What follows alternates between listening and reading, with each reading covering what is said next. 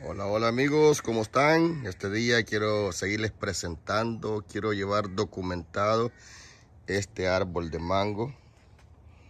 Ah, les voy a ir mostrando cómo va el proceso de los mangos. Ya subimos un video cuando estaban floreados.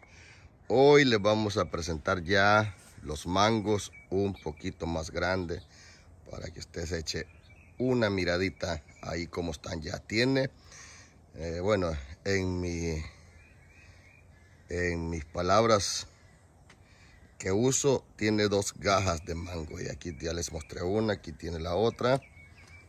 Ahí tiene la otra. Es un mango aproximadamente tres años. Tiene el arbolito y está en un bote de 15 galones.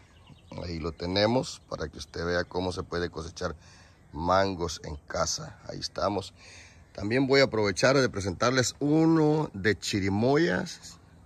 Aquí también que está bien floreadito. Vamos a mostrarles las flores. Aquí están.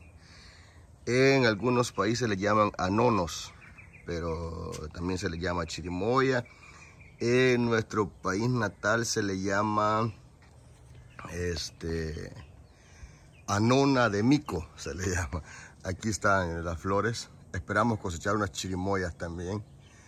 Ahí están, para que ustedes les vamos a ir eh, documentando cada crecimiento que vayan teniendo. Mire esta flor de que están aquí, de esta nono o chirimoya o anonemico. Mire que ahí está, les pongo ahí para que usted mire esas flores. Esta flor huele bien rico cuando se abren.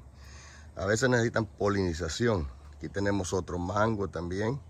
Y también estamos supervisando este árbol de olivo que lo tenemos acá, que también ya tiene frutos. Aquí están los olivos, también ahí están, para que usted pueda ver.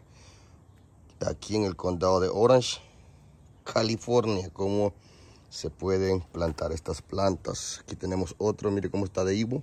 Ivo. Ivo olivo. olivo, siempre hablamos otras cosas. Este es un olivo.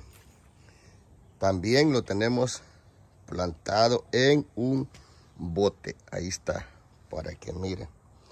Regresamos para que usted tenga un buen final. Vamos a ponerle los olivos ahí. Y nos regresamos a la caja de mango para que usted tenga una buena experiencia de ver cómo estos mangos se van a cultivar. Les seríamos de comentando conforme vayan creciendo a ver si los logramos cosechar. Bendiciones.